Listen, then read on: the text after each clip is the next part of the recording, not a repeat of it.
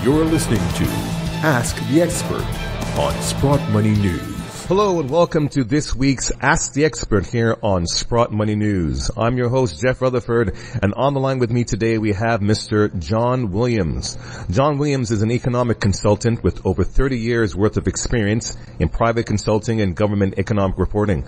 His website, shadowstats.com, is an electronic newsletter service dedicated to exposing and analyzing flaws in current U.S. government economic data and provides an assessment of underlying economic and financial conditions net of financial market and political hype. So with that, we'd like to welcome our guest today on Ask the Expert, Mr. John Williams. Hello, John. Uh, hello, Jeff. Thank you for having me. Thank you very much for joining us. We really appreciate that today. So, John, we've had a number of uh, questions being sent in from our, our listeners a lot of obviously pertaining to what's been happening as far as uh, inflation, uh, likewise as far as what's been happening as far as current uh, economic policies. So let's uh, try and see if we can uh, get into okay. this. So, John, so while the USA is having much higher unemployment and bigger deficits than before, the rest of the world, when we look at China, Japan, or even Europe, are doing much worse. So long as the rest of the world continues to be much worse than the USA, the status quo can continue.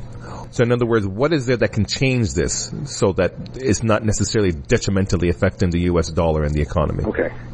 Well, I'd, I'd argue with the, some of the premises that you put forth in terms of the relative uh, strength of the um, uh, U.S. Uh, economic and, and, financial conditions.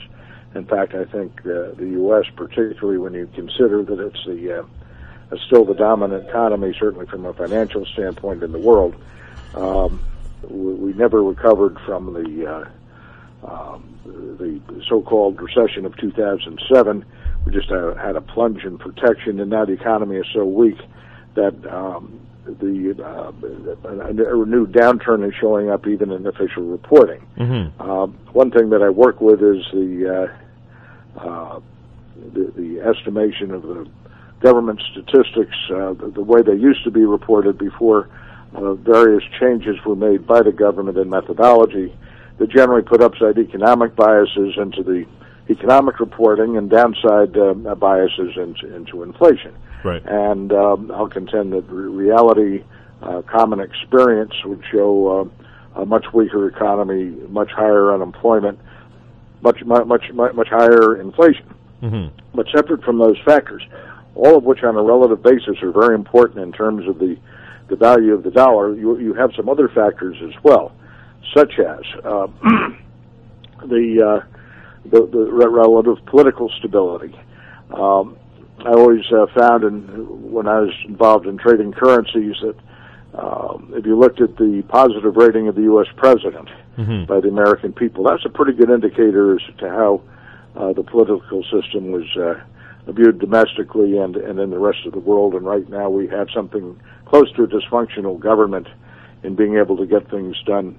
People are very upset with the government uh, that's that's a big negative against the rest of the world. Mm-hmm. Um, if you look at the uh, our fiscal conditions, uh, officially the uh, numbers are, are getting uh, better. But if you look at it on a on a GAAP basis using generally accepted accounting principles, the way a, a corporation would re- report its financial statements, we're seeing annual deficits a deficit order of magnitude six trillion dollars. Right. Um, that's uh, that's a third of uh, that's a third of the GDP.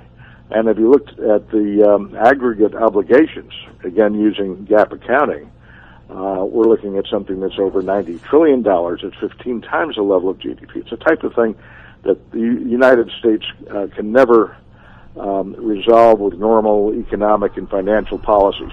The government has to address its long-term solvency issues if it's if it's going to survive, if it's going to have any credibility in the rest of the world. The global markets look at the U.S. and there's a big question of that uh, uh, the, the, the sovereign uh, solvency. We, we saw the, concerns about of that uh, come to a head back in August of uh, uh, 2011 when S&P downgraded the U.S. Treasuries, mm-hmm. and you you had a, uh, a brief dollar panic before there was massive intervention and a variety of things were done by central banks to try and calm things down. Um, we have ahead of us here probably the worst fundamentals ever facing the dollar. I don't think the for the U.S. dollar against the rest of the world major Western currencies, including the Canadian dollar. Mm-hmm. Um, I don't think things have ever been more negative. So not only do you have, you have problems on the fiscal front, uh, which be happy to go into further detail with, you have uh, problems on the monetary front with the Federal Reserve. Mm-hmm. Um, the Fed, um, so let, let, me just back up a, a, a point or two. Um, we had a financial panic in uh, 2008. Mm-hmm. Uh, people in Washington were saying, "Oh my goodness, we're within a day or two of a collapse of the banking system." Well, they, they, they weren't kidding; they really were. We should not have gotten to that point. There are all sorts of reasons that we were there. Never should have happened, but we were there. Right. And uh, what happened was uh, the federal government, the Federal Reserve, um, they, they did everything that they could, everything that they had to. Uh, they created whatever money was needed. They bailed out large firms. Uh, whatever was needed to prevent um, a collapse of the financial system was undertaken, mm-hmm. irrespective of the long-term implications of those actions. And uh, what they did was they they didn't resolve the problem they pushed all the issues into the future. We're in the future now. Exactly. We're still sitting in a in a circumstance that we could see the issues. In fact, we'll see the issues of the the panic of um, 2008 uh, re- resurface here. The economy still is in trouble. The the banks are still in trouble, and as the economy deepens, we're now seeing that happen. Uh, as, a, as a downturn deepens, we're now seeing the first quarter um, uh, U.S. GDP uh, showing a reasonably uh, large decline. I'll contend, despite the, uh, the, the hype and optimism on Wall Street about the second quarter, that we're going to see a second quarter uh, contraction in official reporting. That will give you a, a new recession, as most people would define it, and that's not commonly viewed. That that's a factor that could could trigger massive selling against the dollar. Right. The right. economy, the um, the fiscal conditions, and then it was getting back to the Fed. What they did was they did whatever they had to to support the banking system. The U.S. Federal Reserve is not an agent of the uh, U.S. government. It's a private corporation owned by the commercial banks. Right. Its primary function in life is to keep the banking system afloat, to keep it solvent. It has a mandate from the government to keep the economy growing and, and, and to contain inflation. But there's very little the Fed can do at this point to stimulate the economy, um, or, or for that matter, to uh, uh, contain inflation. The way to contain inflation usually is to drive the economy into the ground, and that will normally bring down uh, inflation. That's what that's what uh, Volcker did uh, a couple of decades back. Right. But you have a circumstance here where the um, the economy's already been driven into the ground. You, you, you don't have the ability to do that. So that all the all the things that were all the actions that were taken back in 2008 had inflationary implications. Those are still to play out. If you look at the deficit side of it, um, the circumstances there have doomed the U.S. Uh, dollar to a long-term hyperinflation, and I'm looking at a hyperinflation here where the dollar becomes virtu- U.S. dollar becomes virtually worthless, absolutely worthless as, mm-hmm. as a currency, having no no no no per, no purchasing power. Um, that could have happened the end of this decade, but the crisis in 2008 and what we're still doing now accelerated the process. Now, the Fed is uh, indeed has pulled back on its uh, quantitative easing, and the markets uh, some in the markets have taken relief from that. Um, others are distressed about it. The issue with the quantitative easing was never economic stimulus; it was to support the banking system the banking system still is in trouble. Right. Um, what the what the Fed did was it used the weak economy and still is use, using the, the weak economy as political cover um, to to try and help the banks. I, I don't know that I wouldn't do differently if I were running the Fed, but that's that's not exactly uh, upfront with the American people. Right. And um, so even though there's been some tapering now with the new Fed chairman as the economy weakens anew, um, all of a sudden you're going to have more and more calls for the Fed to introduce more quantitative easing. I, I think they're going to do that fairly soon, despite you know all the talk of the tapering and when are they going to try to hike, hike interest rates. They're, they're going to be forced back into that, not because of the weakening economy, again, that's the political cover, Mhm. but because of the problems this creates in the banking system and the, the, the liquidity issues there. So that's um, uh, that, that's a tremendous uh, um, uh, factor. If Right. you um, look at our trade deficit, it's widening, and that's part of the problem with the, uh, uh, the, the, the declining GDP. Uh, you put these factors together, you have an extraordinarily negative environment for the U.S. dollar against the rest of the world.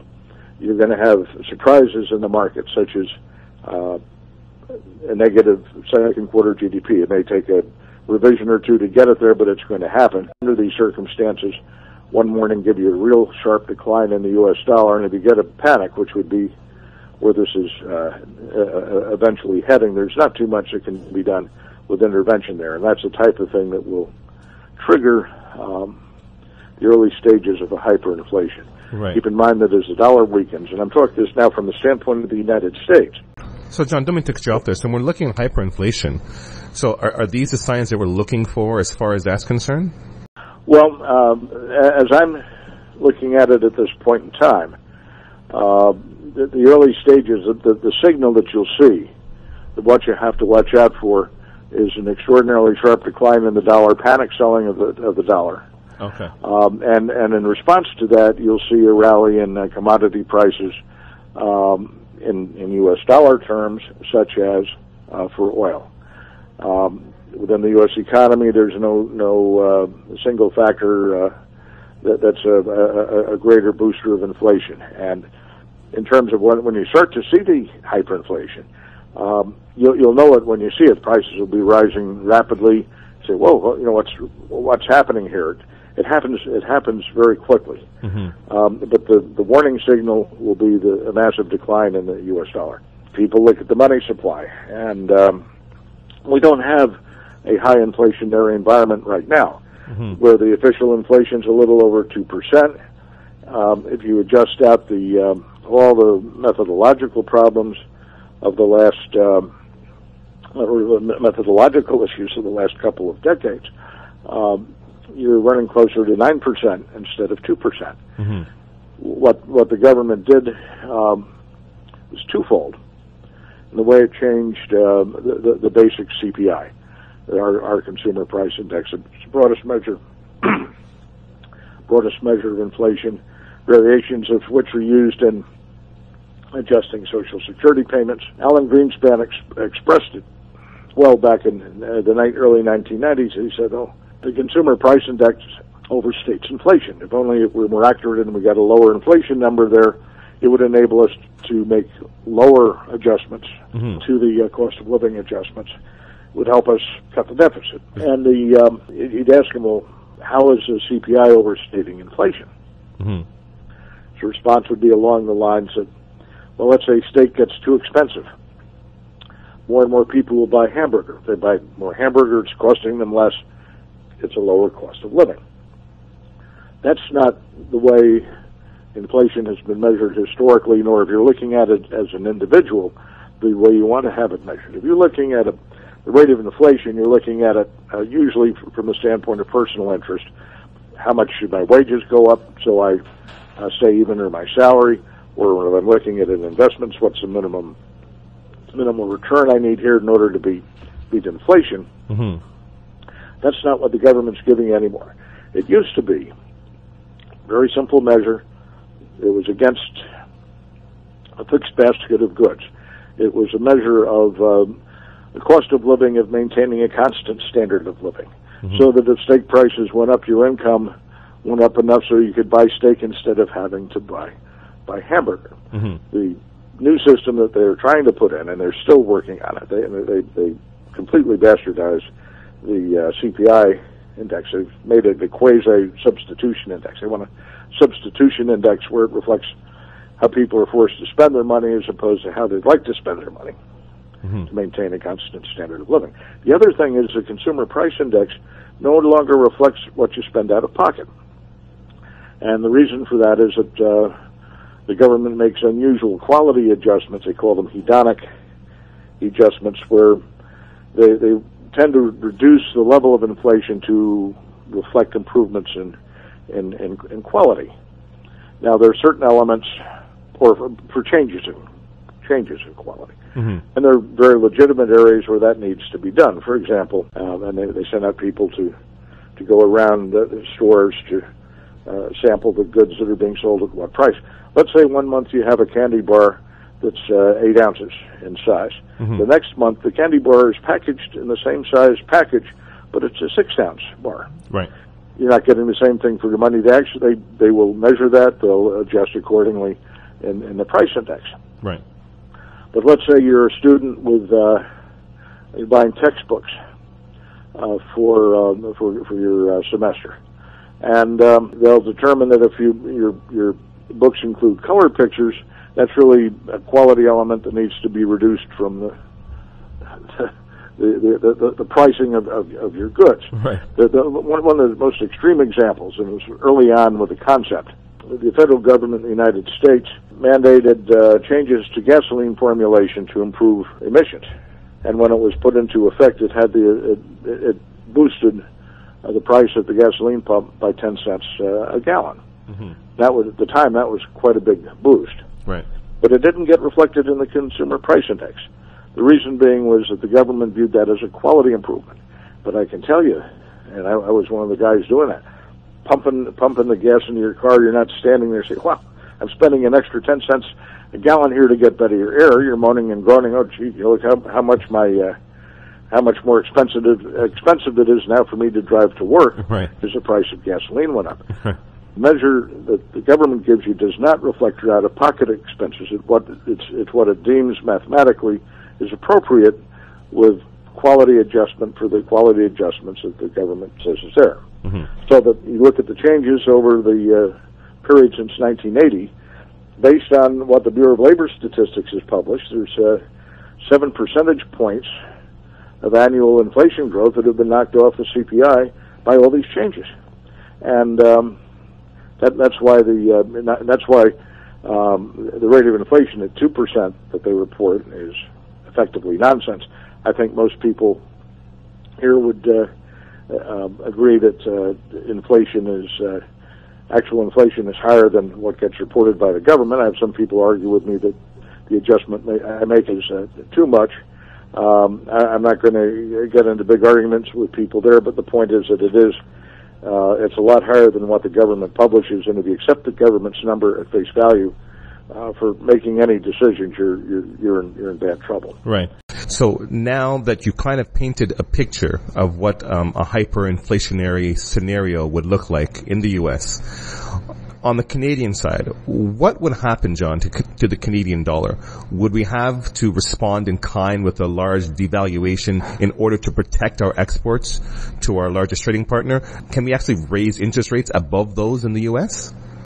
I, I, I would doubt it because I don't think you'd want to follow the U.S. to where it's going to be going here. Mm-hmm. Um, with a hyperinflation, um, now let me just use the example of Zimbabwe, which I know most people have uh, heard stories about. Or you, take a uh, an original two dollar bill in their system and take what would have been a two dollar bill equivalent in the last iteration of their currency and just piled up enough two dollar bills from the final iteration against the original one to equal one of the old, um, you'd have a pile of currency that went from here to the Andromeda galaxy. Um, I'm looking for something of a rough equivalent. I, I don't know that it'll go as far as the Zimbabwe did. It'll go as far enough that the uh, U.S. dollar will be virtually worthless. People will not be spending U.S. dollars. I'm talking now in the United States. Mm-hmm. When they go to buy a loaf of bread, they're going to end up with some kind of a uh, barter system but there's going to be a, a very rough period before any kind of a barter system might come into place. Right. Where you could have um, uh, d- d- disruptions to the delivery of uh, goods and services, like, like, like like groceries. It'll tend to push the U.S. economy and domestic demand into uh, probably the uh, worst depression we've ever seen. And as such, uh, the U.S. is not going to be a real good trading partner for anyone mm-hmm. for well. Now, when the U.S. economy sinks badly, and I'm effectively looking at a hyperinflationary Great Depression here, um, you have a uh, the, the, the, you can't take something that's a little shy of half the world's economy and shut it down and uh, not expect the rest of the world to uh, uh, feel economic pain, particularly Canada. As you, uh, I think you mentioned, uh, Canada is our uh, biggest trading partner. Mm-hmm. Um, you, you want to maintain your, your domestic solvency. I view the I view the Canadian dollar as a relative safe haven for people in the United States who are holding U.S. dollars. Mm-hmm. Um, I, I mean, I said to people say, how do I preserve my wealth and assets? How do I preserve the purchasing power of my assets? I, I tell them to look at uh, hard assets like such as physical gold and, and silver, and to get some uh, currency, uh, U.S. dollar currency, outside the U.S. dollar, uh, currency such as the Canadian dollar, right. Australian dollar, the Swiss franc. I, I look at the Canadian dollar as a safe haven here. You, I think you'll avoid the hyperinflation. It's going to be very difficult to avoid in, uh, uh, sympathetic economic impact from the United States, where you have such a trade relationship. On the other hand, I've always found the, the private trade sector, uh, the private sector, to be extraordinarily creative, and uh, I know you're already uh, as, you're already expanding exports, uh, say timber to China and whatever. You will find ways and other trading partners to ride through what, what's going to be a difficult e- economic time. Probably uh, broaden your, your uh, horizons as a result. But the um, in terms of the United States, is, is going to be a, a very difficult time until such time as the currency can be stabilized uh, I don't know how long that's going to be, what it's going to take, how, it, how it's going to go. Right. Once you, once you get into that type of a circumstance, there are all sorts of things that could happen. Uh, when the dollar, I mean, the, the, the dollar or some currency will have to be reintroduced. Um, given the scope of the dollar in the uh, the, the, the current system, um, as part of the hyperinflation, dollar debasement, dumping of the dollar, I would expect that you would see a um, uh, the loss of uh, uh, reserve status, global reserve status for the U.S. dollar, right. which will tend to, to accelerate the process. But wh- whatever the currency system is that follows, my betting would be you, it'll have some component of precious metals in it, uh, particularly gold, to help um, give people confidence in it. Right. I have people who today will say, well, all we have to do is put the U.S. on a gold standard and we'll be fine and dandy. Uh, not so. It is, uh, there's a big problem here that's got to be addressed first. If the U.S. just uh, uh, adopt to the gold standard today, the gold standard would put a cap on, on the government spending. Um, but that's, uh, we don't have any, uh, we don't have a government that's able to, uh, uh, do that at present. The way things are set, we've got tremendous deficits going forward. Again, on a on a GAAP accounting basis, order of magnitude six trillion dollars per year. Mm-hmm. Um, if that's in place, if we if we uh, the United States went on a gold standard, we'd be constantly devaluing the dollar against gold. It would have the same effect as the as the inflation. For a gold uh, gold standard to work, Mm-hmm. the U.S. has to balance its fiscal condition. It has to address its long-term solvency issues. The global markets are looking at that.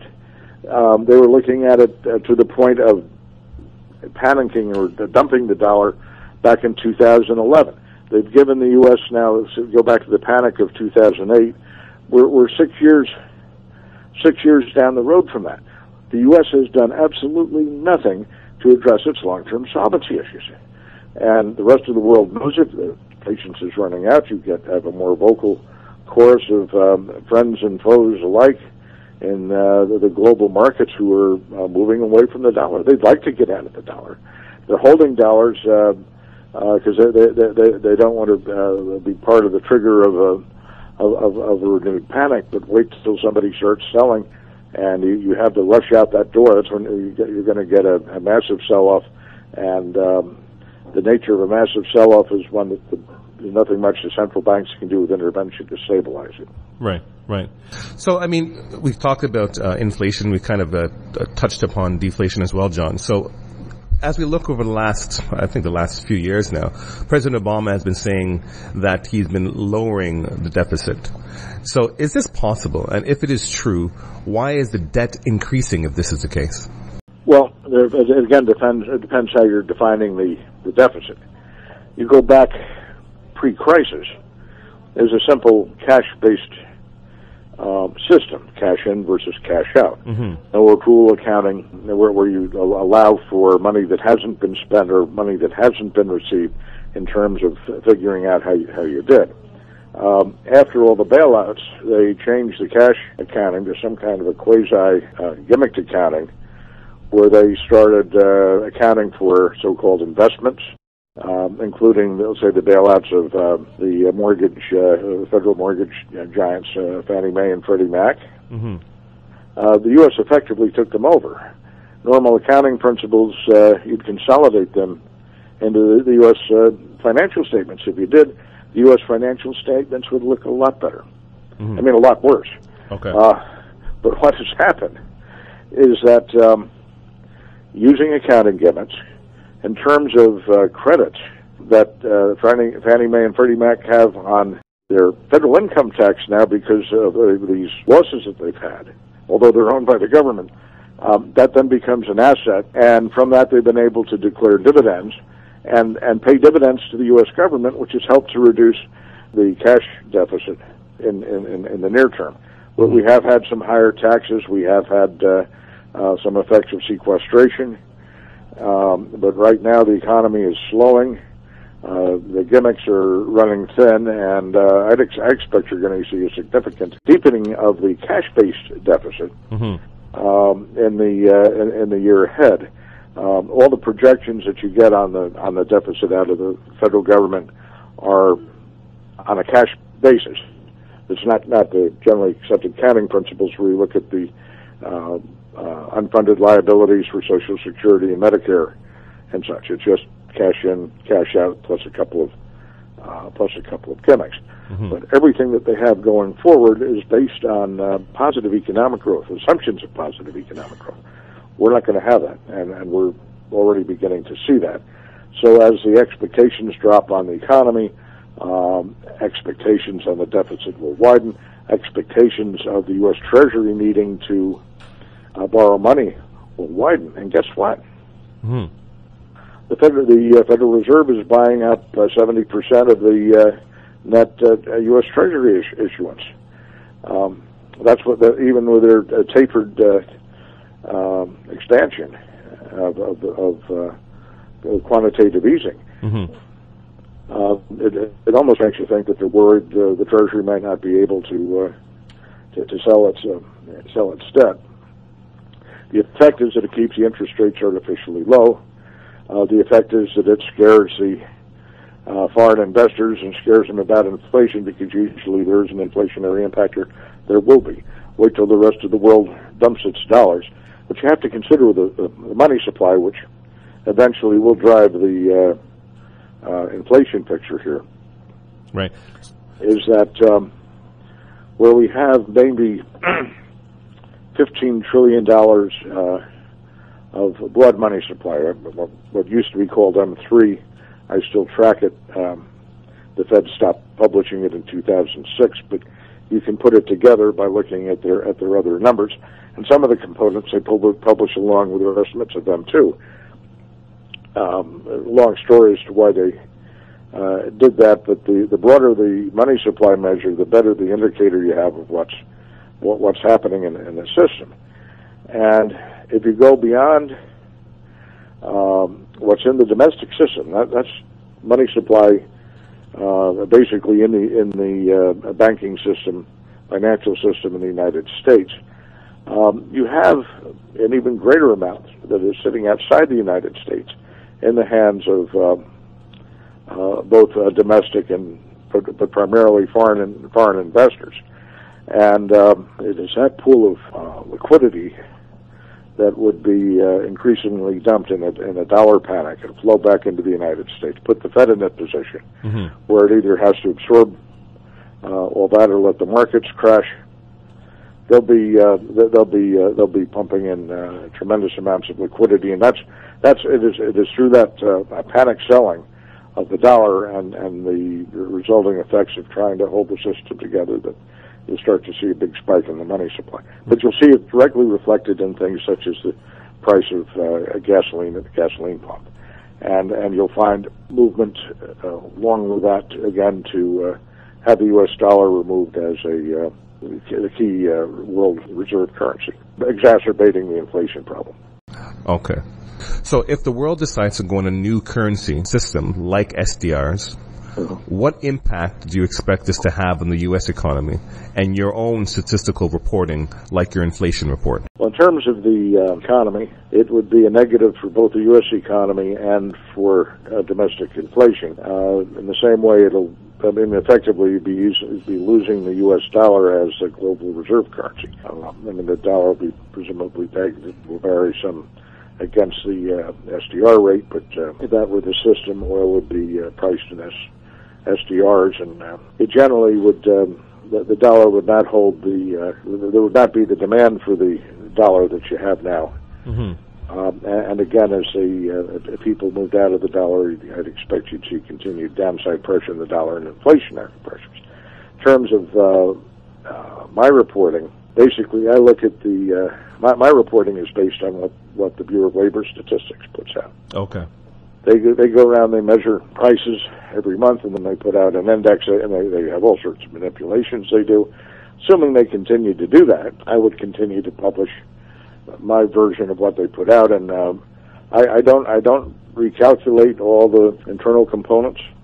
What, what I what I do basically is look at the changes they've made and take their estimates of the changes they've made and the impact they have, and add that back in.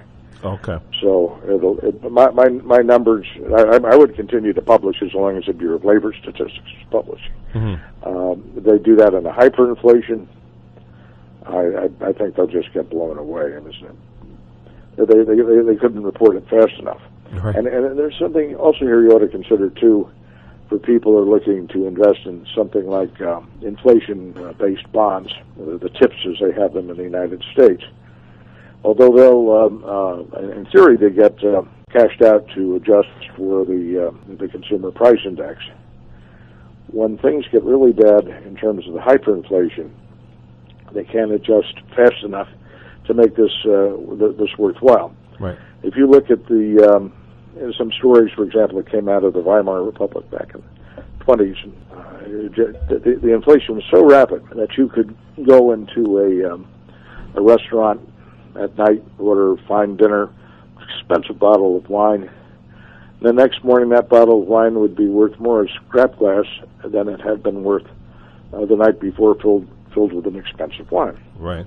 Right the Treasury can't adjust that quickly. So whatever um, advantages you would have if they accurately could measure, there's just no time to get it to you and and, and to have it function. And, and there's that that that brings you to another issue. And then we we have tremendous volatility in the uh, precious metals prices. Uh, that's usually tied to uh, central bank intervention. Mm-hmm. Um, but you have a circumstance here I don't care if you get uh, gold at uh, 500 an ounce, 1,000 an ounce, 10,000 an ounce, what, what, whatever you get it. It's the type of thing that, that I advocate to people uh, in the United States looking to preserve the wealth and assets. This is your basic hedge. Right. This is what you need to ride out the storm. Now, I'm, I may not have the timing on the storm perfect. If you have this when it hits, you, you could see gold at $100,000 an ounce U.S could be a million. Eventually, could be a billion as as the dollar loses its value. Right. It's not that you're seeing, wow, I've made a million bucks, um, you know, holding my gold. Mm-hmm. That's uh, what what you're seeing there is what the purchasing power is of the assets that, that you put into the gold. Right. Had you not put the asset, the the money into the gold, that's what you would have lost. Right. Right. In in terms of purchasing power. So that's. Uh, just an aside. So now let's look, let's stick with uh, precious metals here. I mean, obviously we're on Sprott Money. This is what we do. Um, so John, so back in 2008, gold fell from $1,015 an ounce to $680 an ounce. Likewise, silver also dropped from $21 an ounce down to $9 an ounce. Right. So, so what caused this drop in the price of gold and silver? Do you see gold and silver following that trend and falling that much this year as well? Well, working in reverse sequence there, um, you're, you're going to have ongoing volatility in, until you get into uh, until you get into the massive selling of the dollar and the the uh, early roots of the hyperinflation, and that's just generally going to be moving wildly to the upside. Generally, I, I look for it to continue to move higher, but uh, I'm not a day-to-day uh, timer, and you, you you may have some ups and downs, Mm-hmm. um, and we've certainly seen them. But what happened back in 2008 was uh, the drop-off there was uh, a direct function of the global financial panic and central bank intervention. Uh, these these guys are, and I'm referring kindly here to the central bankers, were in a very difficult circumstance, and, they again they did whatever they had to do to try and stabilize the system. Uh, they, they didn't want people fleeing to uh, gold and silver. Um, that was a, when you see gold prices rise, generally it's it's a it's a, uh, a vote of no confidence in the central banks, Mm-hmm. and that they know that. So that, that is particularly when things are dicey, they they, they, bristle with the private sector uh, rallying the, the gold price. Back after the crash, stock market crash in the United States in uh, 1987, President Reagan set up a um, working group on the financial markets, presidential working group on the financial markets. Some people call it the pl- plunge protection team, Mm-hmm. headed uh, jointly or with varying uh, degrees by the Fed chairman and or the um, Treasury Secretary. And the, the mission ostensibly is to keep markets orderly. Right. Um, it has evolved to more than that, where it's been used to move markets in uh, whatever directions have been uh, been, needed. And, and you had Alan Greenspan talk about that uh, once. It's not discussed much. Right.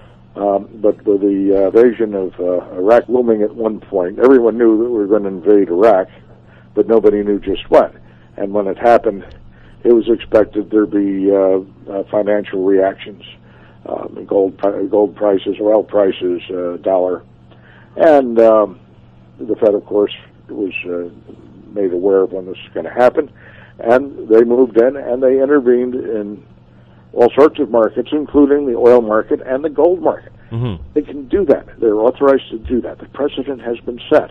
You see these strange, uh, massive selling uh, sprees of uh, uh, gold in the uh, cash market. That's not the way uh, uh, an investor usually would, would sell. That would that's a good way to lose lose money. That's th- th- those the sellings there clearly were intended by someone to uh, uh, drive the, uh, the the price of uh, the precious metals lower. And um, you you look at who has the biggest interest there. You've got a pretty good idea where the pressure's coming from. Mm-hmm. You may have further of that, but the long-term trend here is uh, to the upside. Gold is the only investment class, only asset class that has held its uh, value, its purchasing power Mm-hmm. over the millennia. Right. I mean, you could buy a loaf of bread in uh, uh, Rome for about as much gold as you could uh, buy a loaf of bread today, Right. and that's that's where uh, this uh, gold and silver Mm-hmm. uh, have have uh, have extraordinary value in term as a, in terms of a hedge against the, the rest of the world going crazy and, and having what you have in the way of paper dollars being uh, made worthless. Right. So I mean, even if we look at that, John, like in, in terms of precious metals now, again, sticking with that, that idea. So in July, when the new offshore banking laws take effect, do you see a major move in precious metals? Again, I'm not into day-to-day timing, but uh, my betting would be that uh, most of that effect has already been uh, worked into the market. Right. Well, John, we thank you again for uh, joining us here today. We've been speaking to John Williams, who's an economic consultant for over 30 years worth of experience in private consulting and government economic reporting. His website, again, is shadowstats.com, and it's an electronic newsletter dedicated to exposing and analyzing flaws in the U.S. government, economic data, and provides an assessment of underlying economic and financial conditions, net of financial market and political hype. And with that being said, John, we'd like to thank you again for joining us here on Ask the Expert here on Sprott Money.